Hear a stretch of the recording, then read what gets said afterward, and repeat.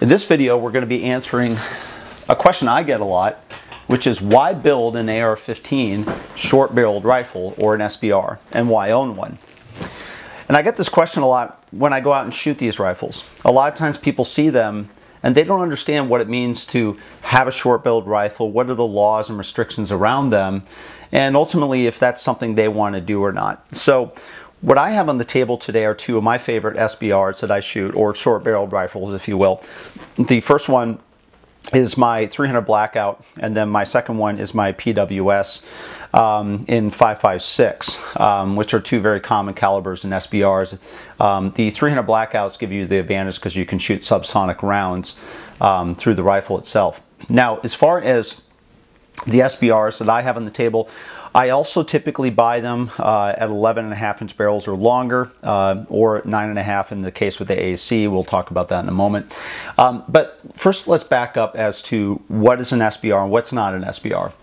Well, the National Firearms Act in 1934, later amended in 1968, defined what a rifle is or and what a short-barreled rifle is. So basically, in a nutshell, a short-barreled rifle is a rifle that can be shoulder fired and has a barrel under 16 inches or an overall length of under 26 inches. So most AR-15s that you see today that you purchase uh, regular in stores will have 16 inch barrels or longer. That way they don't fall under uh, the FM, the NFA requirements of a short barreled rifle. Uh, that's why it's rare when you see short barreled rifles as opposed to standard 16 inch um, barrel or longer AR-15s. Um, so the process to go through the SBR, SBRs can be uh, somewhat confusing and difficult. So, uh, by the way, I'm not going to go through all the legalities of that here. I'm just going to go through some, of these at a high level. I'm sure there will be a lot of comments as to, hey, you got this wrong or that wrong. The reality is this is changing a lot, including it, it was amended last year through the BATF. So I'm just going to talk about at a high level uh, some of the things that I know um, at this point uh, when this film, or when this uh, video was produced. And then, of course, it's up to you to really look a little bit further into this to determine what the exact laws are for your state and how they apply to you. So, the first thing that you need to understand is that the NFA um, requires that um, or the BATF requires that all SBRs be registered and approved to be purchased and, and, and or built and they have to be initially transferred through an NFA, which is somebody who has a firearms license to be able to sell you one of these uh, one of these uh, rifles, or in this case, pistols, which we'll talk about in a moment. Um, the NFA can also be purchased through what's called a corporation or what many people refer to as a gun trust. And there were some modifications to that last year, which we'll talk about in a moment. But many people will not buy these conventionally, but rather buy them through the trust and have the ownership of the actual weapon be in the trust itself.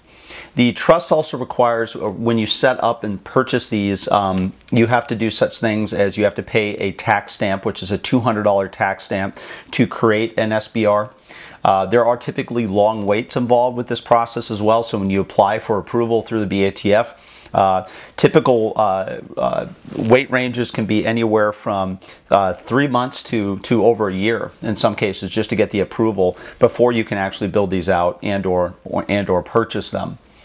Um, the process actually became a little bit more difficult in 2016 as well because the BATF came out with new guidelines, especially as it applies to gun trust and how to purchase these. So again, make sure that you talk to a dealer or somebody who's familiar with what these guidelines are in your city and or state uh, to make sure to determine what are your specific guidelines in your state and how these work.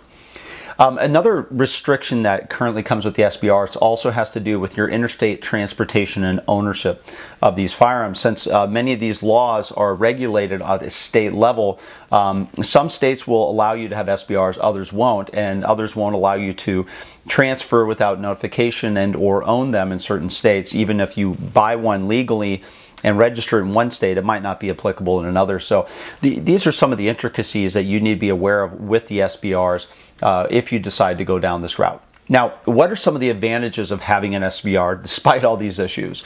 Um, the first thing is these are very versatile to shoot, especially in tight quarters. So if you're doing tight quarter shooting drills, oftentimes swinging around a 16 inch or longer barrel on a rifle can be prohibitive. Um, that's why you commonly see a lot of Secret Service and other people who work within cars and other tight spaces will usually have shorter barreled rifles because it's just much more versatile to shoot in these tighter quarters.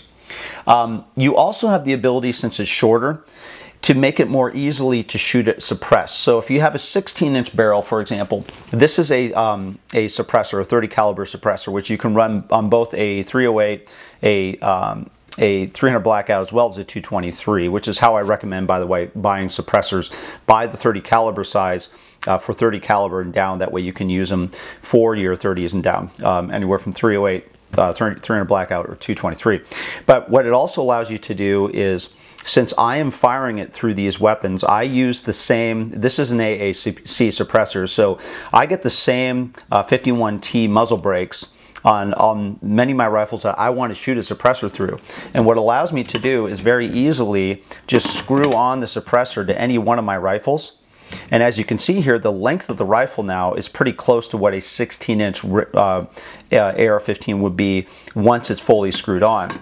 Without it, of course, it's shorter, but if you add, for example, that length onto a standard 16 inch barrel, this can become very uh, difficult to shoot, especially in tighter quarter situations. And these suppressors, especially with the heavier baffles inside, are heavy. Um, these are heavy, and once you have all that weight at the end of a 16 inch barrel, uh, it can be difficult at times and cumbersome to shoot it. So having a shorter barrel allows you to more easily use um, the suppressors that you would want uh, to use onto these rifles. The second thing is um, they're just lighter weight. Uh, because of the versatility and shortness, it also eliminates a lot of the weight on the rifle as well. And then the final thing is they're just really fun to shoot. If you've ever fired an SBR compared to a standard AR-15, you'll realize um, what the differences are between the two, and they're really, uh, really fun to shoot, uh, especially if you shoot often. Now, what are some of the disadvantages to owning these? Well, first thing, as we alluded to earlier, there are restrictions in the interstate transportation and ownership of these rifles. So some states may allow you to buy them, others may not, uh, as well as being able to transfer them and your restrictions in doing so. Make sure you check on your local guidelines. It also requires that since you go through a background check and approval that you register now your SBR with the BATF. And there's some people that just aren't comfortable with having the government know that you are registering a firearm with them. Instead, they would rather they you not know that. Um, however, in this case, you don't have a choice with the SBRs. In order to do this legally, you have to register it through the BATF, and they're going to know that you are tied now to this weapon, uh, and it is registered with the federal government.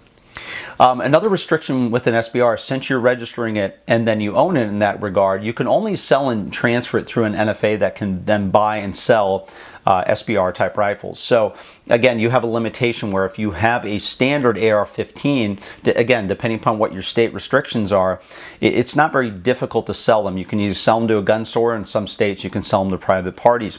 Uh, but with an, with an SBR, uh, you have to uh, transfer ownership through an NFA uh, to buy it and sell it. And in many cases, that means that the amount of buyers that you have, as well as uh, uh, sellers, uh, can be restricted and making whatever money that you put into the rifle less and less value uh, potentially because of the restriction of who can buy it and who can sell it. And then the final thing is just the, the cost and time. Not only do you have to file a $200 tax stamp, again, you might have to wait up to a year for the BATF to even approve uh, for you to be able to purchase uh, or to purchase or build out the rifle itself. Now that gets us to the building and buying of the SBRs. How is this done? Well, you can buy an SBR as it is today, and of course, if you do so, you're going to buy it through the NFA approved, you know, gun store, what have you, uh, and then you'll wait that time, uh, whether it be three months or a year, and they'll just simply hold on to the rifle. Uh, you have the ability also to build these in different configurations as well. So, for example, the um, the PWS that I have here was built off of a pistol platform. So what happened was I purchased the pistol, if you will, which had the shorter barrel and then the, uh, the upper and lower. But the difference was instead of having a buttstock, it actually just had a tube. And because of that, it is actually registered legally as a pistol, and therefore I could purchase it as a pistol. Your other option is you can purchase it as a rifle. So in other words, you buy it with a 16 inch or longer barrel, and then you have the buttstock already on here for use. And in that case, what you would typically do is uh, you would register it, build it out in this in this manner, but instead of changing out the back tube into a buttstock and buffer tube, uh, you would then change out the upper typically, or change the barrel, one of the two. Most people will just change out the upper and buy a shorter barrel upper once your, uh, your actual build is approved. So there's two basic ways to do that. Um, when you're looking at that, which leads us to an alternative that people have been working around this for a while. And that involves when people would buy a pistol version with the tube. So in this case, this, this pistol with this tube, and then they have what's called the SIG brace. And the SIG brace is a way to be able to fire one, one armed. I'm not going to go through the details, there's plenty of videos on this. Um, but what it allows you to do is you can slide the SIG brace onto the tube, and it's not permanently fixed to the tube, but rather it free floats on the tube, but it's relatively stiff. And if you fire it correctly, you can actually get the same shoulder mounting that you could with a adjustable stock. Of course, the configuration's a little bit goofy compared to what you would normally do here. You have restrictions as to what you can do. You can't take the strap off. I, again, I'm not going to get into the legalities of this because the SIG brace has been controversial insofar as the BATF has come out with different letters and rulings as to whether or not you can actually shoulder fire with a SIG brace. But at the time of the filming of this, you can. And what this would allow you to do then is to circumvent the SBR process by simply buying a pistol build with, an, with a SIG brace and then allowing you to fire this at legally as a pistol as opposed to an SBR. So that's one of the options you have as well to work around that. Now, personally, I like having the SBRs. I like having them pro properly as they're supposed to be configured. But again, you can run the SIG brace option um, as an alternative to this, assuming that you want to do that. So is it worth owning an SBR? And this is a question I get all the time. First off, you have to weigh what are the benefits worth in time, cost, and restrictions relative to what you're going to be doing with the rifle. So the first question you have to ask yourself is, do you move a lot? If you move a lot within other states, this could be problematic for you because the state you're living in now might be different than the state that you might have to move to in the short term uh, or in the near future that might not allow you to have and own an SBR. So if you tend to move a lot, it might be problematic to own an SBR. The second thing is how often do you shoot? There's a lot of time and costs associated with building these out over time, you know, and you have to ultimately ask yourself a question, which is how often are you going to shoot it? Is it really worth that? As opposed to just getting a standard AR-15 and a 16-inch barrel, so you don't have to go through all this hassle just to save, in many cases, what is, you know, 12 to, in this case, you know, uh, five inches off of your barrels. It's, it's entirely up to you. You have to ask yourself those questions. So, because overall, for me, I love shooting my SBRs. I shoot them enough where I can justify doing this.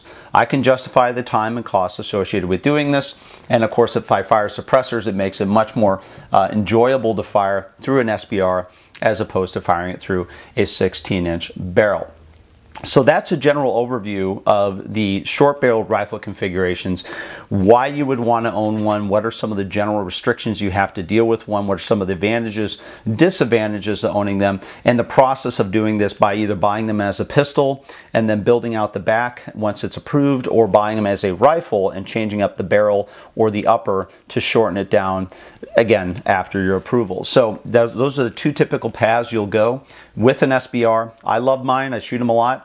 Um, and that ultimately is the equation I needed. Uh, not to mention I don't move a lot, so this helps me uh, understand that you know I live in a state that allows me to exercise my rights, so um, I'm able to do that as well. So I hope this helps answers those questions for everybody that's watching.